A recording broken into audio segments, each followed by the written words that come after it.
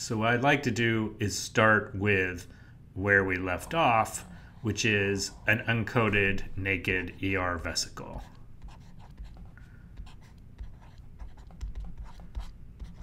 So once the coat, once the COP2 coat has been removed by SAR1 GTP hydrolysis, so the, the coat self-destructed and you have a naked membrane vesicle that contains the ER cargo, the next step is ensuring that this vesicle ends up docking and fusing with the appropriate membrane compartment. In this case, the appropriate compartment is the cis Golgi, drawn, as this more oblong membrane compartment. So, so how does the ER vesicle know to fuse with the cis Golgi as opposed to, for example, accidentally going back and fusing with the ER or going to fuse with a lysosome or any one of a number of other membrane compartments that are, exist in the cell.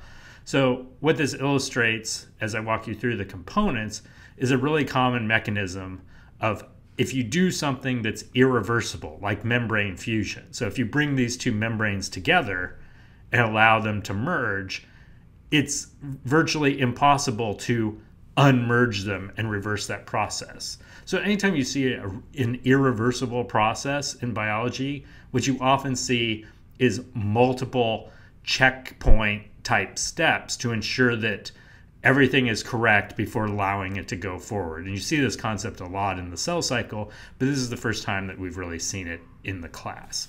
So the way this works is there's two sets of protein-protein interactions that are used to ensure that the vesicle docks with the appropriate compartment. So there's first first set of proteins are RABs, and they interact with RAB effectors.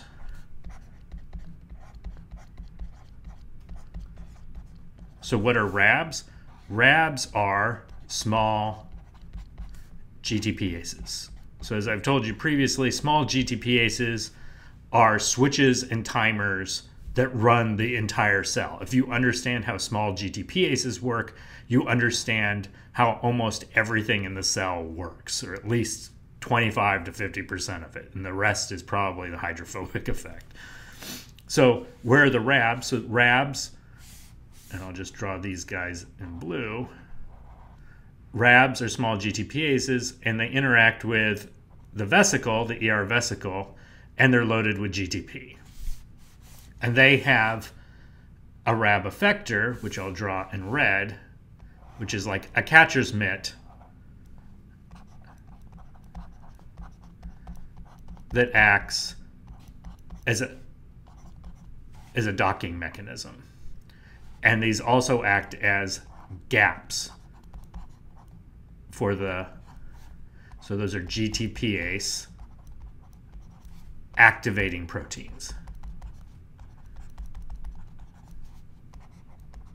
And what that means, is, I'll go into in a second. But this, in some sense, is a molecular handshake.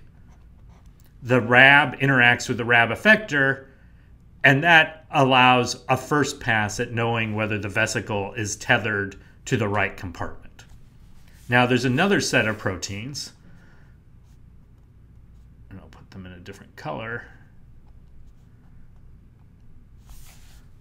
Since I have the power of screencasting at my command, I'll pick some awful green color. So we have the snares, and we have T snares.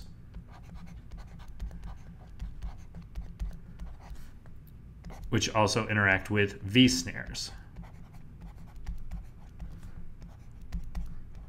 So what are snares? Snares are the proteins that mediate the actual membrane fusion. And I'll tell you how they work, but they work in these pairs where you'll have T snares are on the target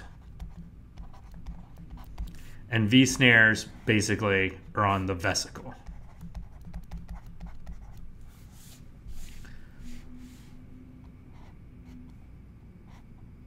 So here's the V snare on the vesicle.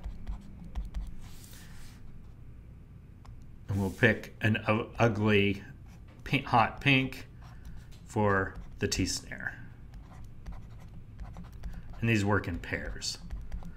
So what you have is two sets of interactions. You have the RAB GTPase interacts with the RAB effector, and you have the V snares recognize the T snares. So what happens is the, the snares mediate vesicle fusion. And if you just relied on this, there would be some specificity, but it's not enough to make it highly specific because the snare, V snare, T snare interaction, while it has some specificity, it's not a highly specific binding interaction. So you would get some low level of inappropriate vesicle fusion if you relied just on those pairings. So that's why layered on top of that, you have this RAB effector, RAB uh, interaction that acts as an initial handshake. So I'll show you exactly how these things work together. So, so the first step is, we'll just go to a more conventional color, is first you have RAB binds the RAB effector.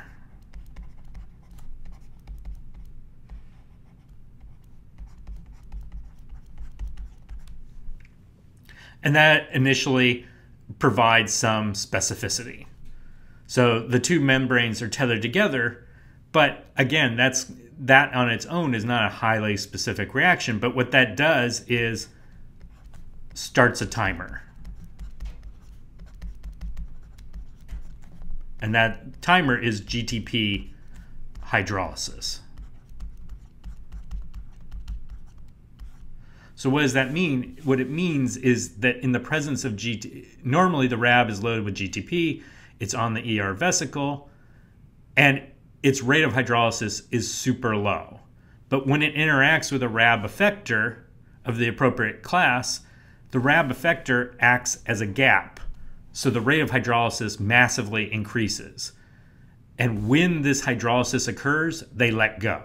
So it sets a timer for that tethering reaction for the snares to find each other, pair, and mediate fusion. So what you have is an initial interaction that tethers.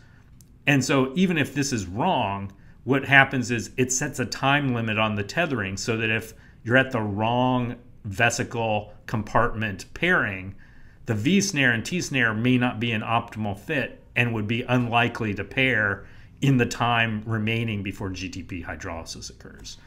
So it starts the timer, and then before GTP hydrolysis,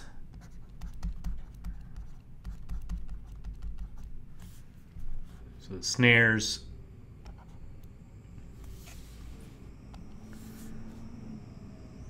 snares must pair.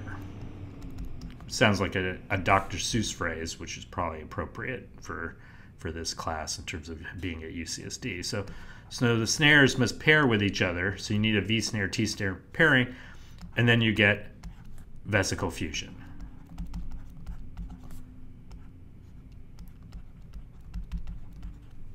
So just to run through this, what you have is the RAB binds the RAB effector, that puts a time limit on the getting a productive V snare T snare pairing. So before the GTP gets hydrolyzed and the vesicles fall away from each other, the snares must pair, and when the snares pair, they trigger vesicle fusion.